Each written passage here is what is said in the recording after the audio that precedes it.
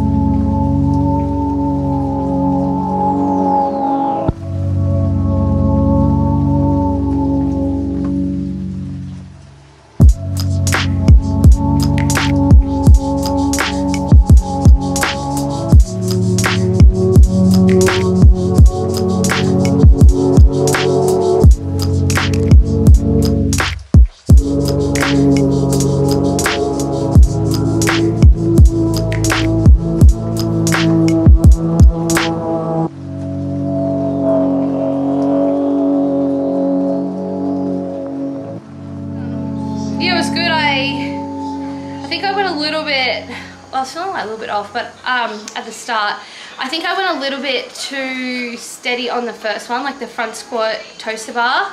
Like I kind of chalked up, I didn't need to chalk up. I think I had like a few too many like rests. I was being cautious of like what was to come instead of just kind of like letting go on like the own its own workout. But it was like okay, but I like wasn't oh I'm dead on the floor type thing and I should be after any 21.59, especially like an unbroken one.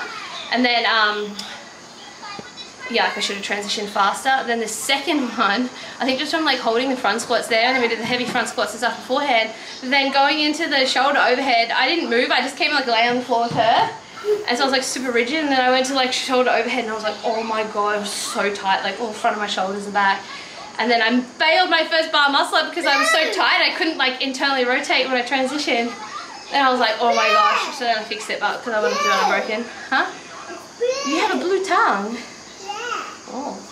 Um, and then, um, but yeah, so then I like fixed it and kind of kept going. Again, maybe not as red line. I struggle with that sometimes. I just going like blowing caution into the wind and just, you know, ripping in. Well, that wasn't dying, but felt a bit funny and then, um, yeah, did the last one like a little bit quicker.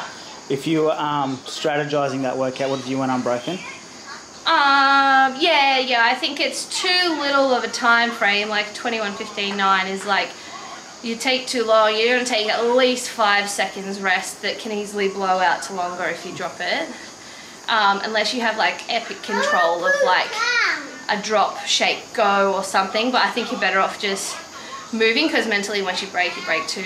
Um, Oh, blue tongue. Show me. It's not blue at all. Yeah, the only thing that I think would vary, I think honestly most people can just do it unbroken, but um, uh, unless maybe the bar work, like maybe the, the um, bar muscle ups or toes to bar, maybe someone would need to do um, break it up. I really should be able to do the other stuff unbroken, but I think where you would speed it up is in your transitions. Like that's what I should have done. I should have been faster in my transitions and not got chalk and all that kind of stuff that I wouldn't do in competition. But um, yeah, that's I think where the time is. But I think you just you just stretch. It's one of those things you can kind of stretch and push yourself and see if you can do it unbroken. If you can't, it's not super expensive. In training, you want want to do that. Um, and then in competition, yeah, you make a call. But I don't know, 21, 15, 9. If you're a seasoned CrossFitter, just go. Okay. All right. So if you do this workout, um, let me know in the comments how you went. Um, if you think that my tips are wrong, I um, yeah. I don't know, you never know till afterwards and there's always a couple of different ways you can do it, but yeah, let me know how you go. It was fun. Good start to the week.